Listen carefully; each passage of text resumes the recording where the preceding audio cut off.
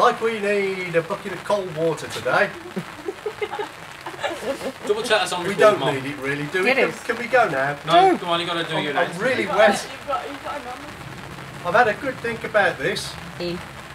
and I thought, because he's a decent chap, I would nominate Mr. Fitzroy Barrington Smythe, 6th Earl of De Montfort, because I feel that a couple of buckets of ice cold water would dampen his ardour. And we all know about his ardour.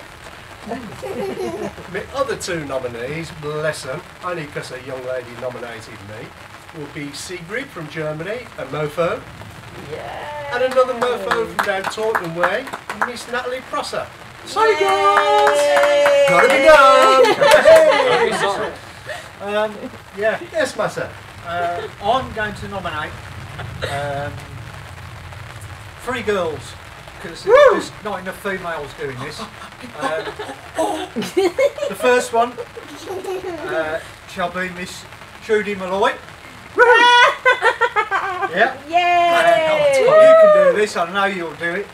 Um, the other two, uh, Mr. Rob Burt Turner. Hey! Yay! Fire it up, Bertie. And uh, for the last one, I think I know the other two lads. Uh, obviously, Jacob nominated me.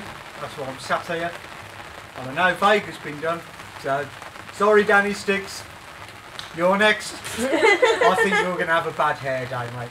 Sorry. what are we going to do And to, and to all that out there that have done this, more power to you.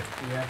And I'm not looking forward to this one little One, bit. two, Just, it not- on, just, three, just it. go! Get it on.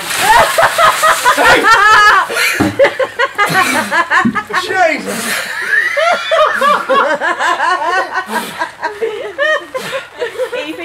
I feel somewhat concussed after that. Hear me, abscon! Are you awake? You're looking so you're at. Do you know Right, something? I've turned that one off. I feel so warm now. Jesus Christ.